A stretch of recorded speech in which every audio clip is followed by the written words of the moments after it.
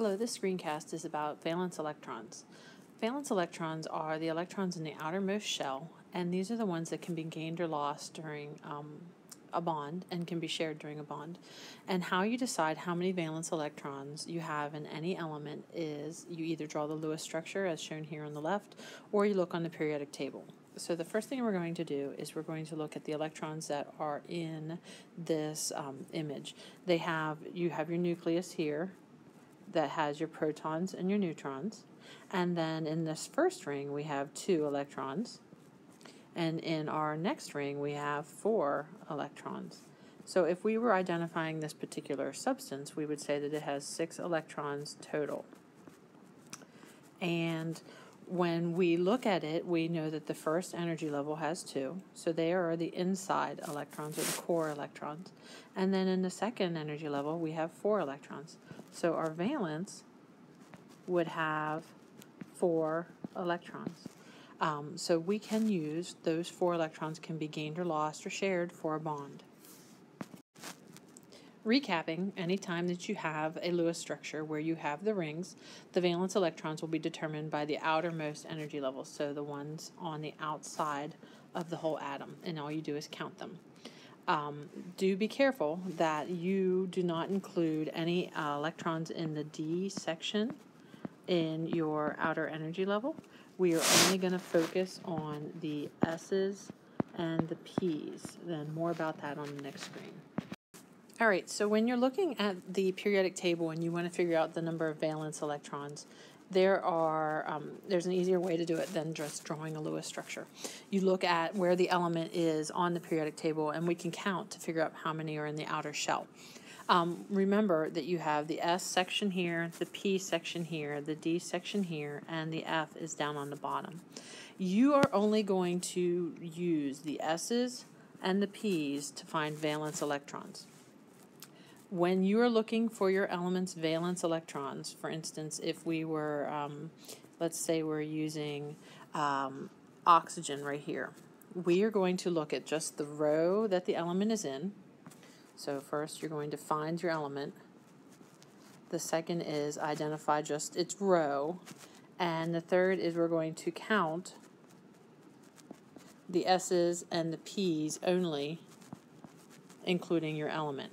So if we're looking at oxygen, as I just selected, we have one, two, three, four, five, six. So oxygen would have six valence electrons. If we were to um, look, for instance, down here on tellurium, we would start here on its row. We would count one, two, three, four, five, six. So tellurium also has six valence electrons. Recall, we do not count any on the D section. We do not do those. Uh, they are on one of the inner energy levels. And if you go back to tellurium's um, shorthand configuration, we would start with KR, and then we would continue on from KR. We would have one, two, three, four, five. We would have 5S2, 4D10, 5P4. And if you look at the numbers, 5, 4, and 5, what are the outer energy levels? Well, this is in the outer energy level, and this is in the outer energy level. So combining the S's and the P's is how we get our 6. You have the 2 here, and you have the 4 there, which lead you to 6 valence electrons for tellurium.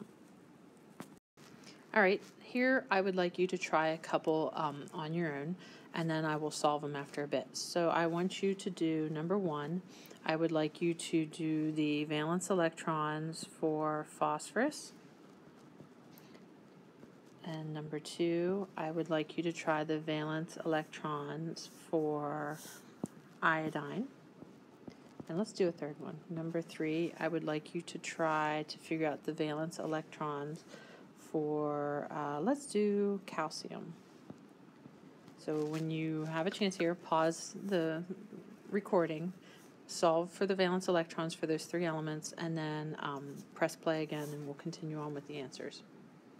Okay, so phosphorus, number one, is over here.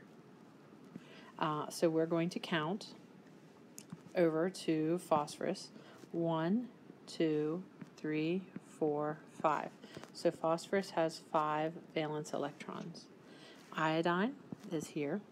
We are going to count the S's and the P's for the row that it's in. One, two, three, four, five, six, seven. So iodine has seven. And last, calcium, we count one, two. So calcium is two. All right, so recapping, valence electrons. We have one way we can count from the Bohr model the outer ring.